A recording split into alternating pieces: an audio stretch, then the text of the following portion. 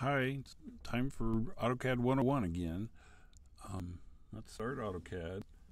Um, I've already got it up already. Whoops, there we go. And let's bring over what we're going to do today. Your assignment, your, um, I'll try to get these attached on Windows as well, still working on that.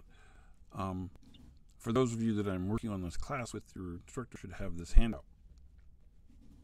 Um, what we're going to do today is deal with a few more things on this draw pull down palette. If we click the down arrow, you notice we've got these wiggly lines, these funny pointy lines, this kind of a dot thing, which you call points, um, divide and measure, which are actually we'll use later, but that's actually not creating objects. It's well, it is, but we'll talk about that more later.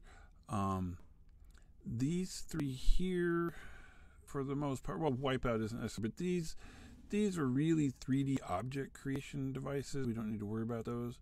And then there's Donut and RevCloud. Um, we're only going to be using a couple of them for real. I'll go and I'll go through what some of the other stuff does. Um, but we'll start with um, the difference between a line and a polyline. What are these? These are different. Um, and probably the easiest way to describe what a polyline is is let's I'll draw one like we're doing the assignment, and it makes a little more sense. If we draw in the assignment, we say let's draw a line. We're going to draw a square, um, starting at one comma two. So line one comma two.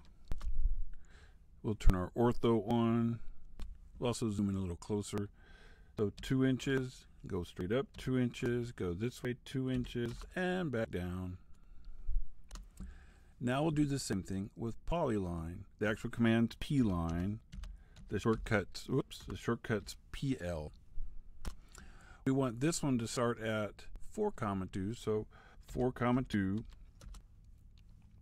2, 2, 2, and close. Now let's go try to move those. So M is the shortcut for move. If I click on the one we do with the lines, it's four separate objects. If I go to click on the polyline, it's one connected object. And that's the difference. A polyline um, has all these vertexes. We can also select and give polylines width. Um, we're going to do that as well. Um, when you start the p-line command, um, in this case, we're going to uh, start, we're going to draw a polyline from 1 comma 6. So 1 comma 6. And we want to assign a width. You'll notice down here on the command line we have arc as an option, half width, length, undo, width. So we'll just type, we want to do a width, so we hit W and it's going to ask us for the start width. Well, we want that to be 0. And we'll give it an end width of 2. And we want this to go 2 inches to the right, so we'll just go 2 now. And notice if we kept drawing, it'd give us a big fat polyline from now on. We assign that end width to 2, and it's going to keep using that width until we tell it otherwise. So we could do that. We could say width, um, let's say 1 now, um, and 1. And we could go another four inches and get a big, huge arrow. That is how AutoCAD creates arrows, by the way. Um, I really didn't want to do that for y'all's assignment. We we got to do something over in this space, so we'll just click over here and get rid of it. And you're like, "What did you just do, Miss Lane? What are those blue squares?" Those things are called grips. Um, most objects, if you click on an object without a command, it'll show grips the blue squares at the ends, you can move that end point wherever you want to go. There's usually one in the middle, and that'll moving that just moves it like you're moving an object. Um, these can be really useful later when you're like, oh, that line, that wall needs to go over to this point. And so we'll start doing using those a lot later. I'll talk. I'll do a little video on grips themselves. When we get into dimensioning, oh, it can be amazing. Um, they're really useful in dimensioning when you're arranging the text, but we'll talk about that more later. Um, you won't need to do this. If you want to, you can.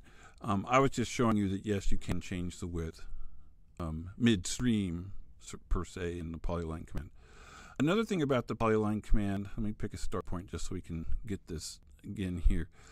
We can have them turn into arcs. You'll notice it defaults back to the last setting for width we had. Oops. Let's put the, hit a W real quick and put zero for start, zero for the end. Um, I could have it, you know, connect the points I'm picking with arcs. So let's hit A. And we pick here, oops, we, it should be letting me pick, there it goes. Um, and so we could keep continuing along, and it would keep, you know, I think it's trying to snap to stuff's problem, but it will keep creating arcs as we go along, and we can set the uh, the angle of the light of those, a whole bunch of other stuff, radiuses, the settings for those. I have never, in my the entire time I have done AutoCAD, ever used this option. Um, but it's there if you ever need it for some reason. Um, generally, if I'm going to draw a series of arcs, one of the option on arc is continue, and that's usually a little easier. Um, and I'll talk about that in another command too. But, but if you do the arc command and then do another arc, well, here just pick a three-point arc, point, point, point, and now I go to arc continue. It knows to start, keep going from that last point. It'll make it a perfect tangent. Um, so that's real handy. Um, Still, that's not something we use very often in architecture. Um,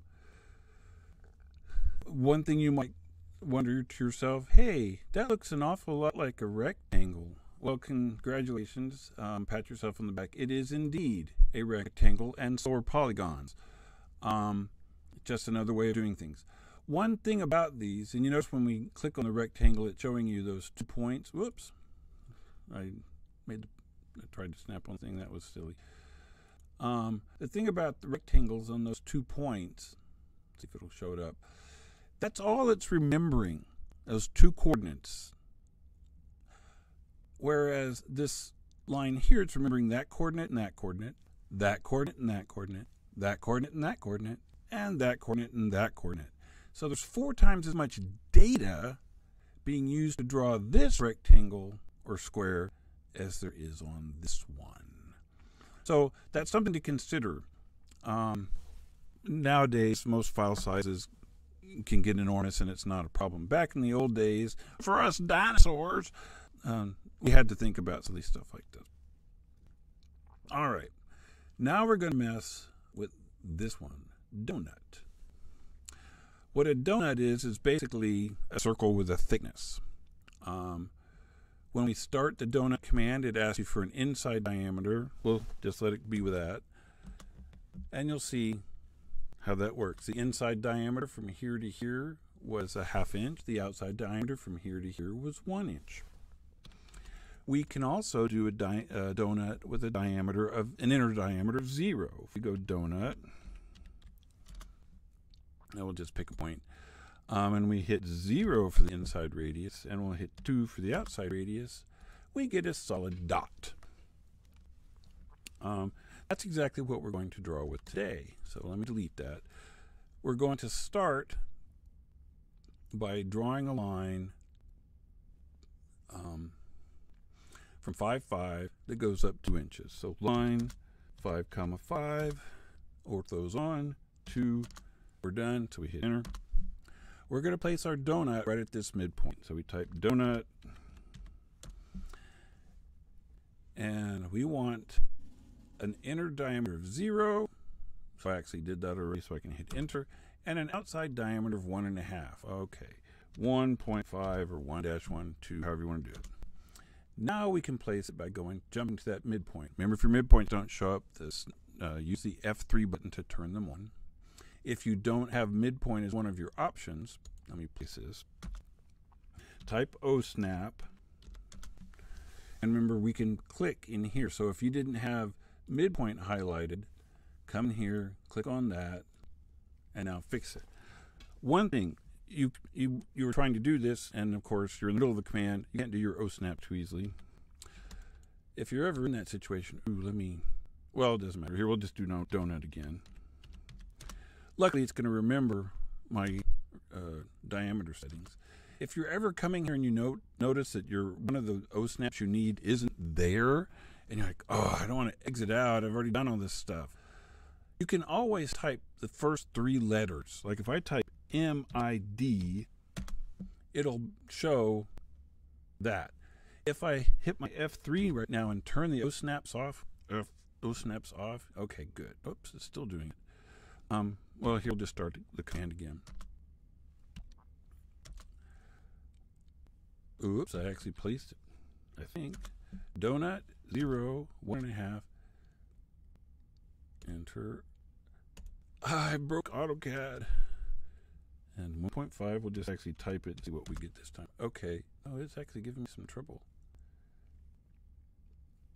Um, if I type mid and come over here, it'll then show a midpoint. Even though my O snaps are off right now, that F3 button set to off. So you notice I don't get endpoints. All I can get is the midpoint. So if you're ever having trouble with it, no, I don't want that one. That's another option you have is type mid or whatever end, int, int for intersection. Um, for the quadrants on circles, qua, QA. Um, so that's always another option if you're having trouble. But let's go ahead and place it. Um, I'm guessing it was having some trouble just then because I'm doing all this video capture. It probably has something to do with the video card. That's why it was kind of hanging. Um, but let's look at uh, let's look at the next step, which I said uh, we wanted to mirror um, this line here. So mirror, uh, the commands mirror, the shortcut MI. We pick uh, mirror, we pick our line. And for the first point, I said we wanted that midpoint again. Oops, I do have to turn on my F3. I can click here. And then I said type in 5 angle 45. And you're like, 45? Why are we doing a 45 degree line? Didn't we, you know? And then hit enter to save the objects. We don't delete the original. And you're like, we hit, hit we just did a 45 degree line. Why did we why did it put it here? Let's let's actually draw that 45 degree line and maybe this will make a little more sense. Um, we're mirroring um, this line here. The, if we look at from here to here, that's 45 degrees. So when it makes that mirror copy of itself, it's going to make a line over here that's also 45 degrees away from the line. Um, this seems like, you know, really strange things to do. Why would you ever use this? We use it all the time when we're doing walls because you've got like five, ten lines or, you know, creating your line with brick and the interior waterproofing and all this other stuff. So you can grab all those lines, hit mirror, click the endpoint at some distance, angle 45, boom, and you have the walls as you wrap the corner. Really fast way to do things. Um, well, here, let's draw one real quick. That makes a bunch of sense. Let's throw some lines in here, and I'm just going to copy them real fast. But let's say that's the thickness of our brick, and then we have the airspace and a, and a vapor barrier, and then the stud, and then the sheetrock. So we've got all these lines drawn. We need the wall now to go up this direction. So mirror, we'll grab all this stuff. That's the outside corner, so we'll pick there and say at, and in this case, let me turn the ortho off. We want to go this direction. Now you can kind of see why that 45 degree makes sense. We want to go this direction so we'll go 12 angle, and remember that's 135 degrees. So because it's 0, 90, another 45, so 135, enter, and we want to keep the originals. And this is where, remember I was talking about fillet radius 0 being really powerful? F for fillet, my radius is set to 4, I mean to 0, so I can just click on these objects using that right button on my mouse to, as an enter to restart. And there I have the corner of my building. Ooh, real powerful command, fillet radius zero. All right, we're not supposed to be doing that stuff. Back to where we were. All right. Um, so that's how that worked. Um, that's all we're going to do for this assignment today. Fill out your little things, put assignment four. crap. I, oh, I mean, uh, that by the way, that's a technical term. It means conditions really aren't positive. That's not a bad word. That's what that is. There's also situation has initialized terminally, but I would not say that one out loud. Um, but anyhow, that's the, all the stuff we're going to do for today's. Notice I still got it saved as assignment two because that's what I opened. That was dangerous. Here's that's real quick. Do save as and call it assignment four, and put wherever direct whatever directory we need to put it in. Um, here I'll just stick it in here. I've already got one, so let's make it 4B. Although I think they're about the same. I use the other one to actually generate the handout. Um, let's look at some of these other things real quick, um, like splines. Splines spline does is it creates this continuous arc along all the points you pick. And you can kind of see that as it go along. Um, you can actually make it close on itself. That's one of your options down here. Um, we'll just hit enter to tell it we're done. The only problem with these is we don't have control of where all these other places where we picked aren't. And so from an architectural standpoint, we kind of want to know all those things. Usually, sometimes in landscaping, if you click on them, remember we were talking about grips? It'll show where the grips are. These are those points I picked when I was defining it. So you can come and you can adjust it, but you can see how we really don't have. It's not as big of a. We'd like to control this too, and we're moving this. No, I don't want to move that side. So from an architectural standpoint, they're not that useful. Um, if you do use them, um, and there are ways of picking points so it'll um, has control vertices and all this other stuff. But if you do ever use this, pick a lot of points. And so then, oops, let me get out of it. I hit my F1. Escape. Now you have a lot more points that you can adjust, and so it's less likely that you're going to, as compared to here, I went one, two, three, four. Um, so keep that in mind. Um, but architecturally, we don't use them that often. Um, they'll use them a lot in other things like engineering, where they're calculating all sorts of stuff once they create things. Um, they'll create solids, and they can create um, where they're rotating about and all this other stuff. Um, you can also use them to create, you know, uh, you know, if you're doing some sort of charts and stuff like that, you can then calculate the area under them and all this other stuff. That's really crazy. We don't generally do that architects aren't math people. Um, these two things are some of the dumbest commands ever. This is called a construction line. It's an infinite line in two directions. Yes, we could zoom out forever and ever and ever. You'll never find the end. Why? Um, ray, which is the next one, is an infinite line, but just in one direction. Why? Um, if you're like me, if I'm trying to line stuff up, which is what it seems like they use them for, I just use the line command. Um, but anyway, um, points points are a pain in the butt because they're a point.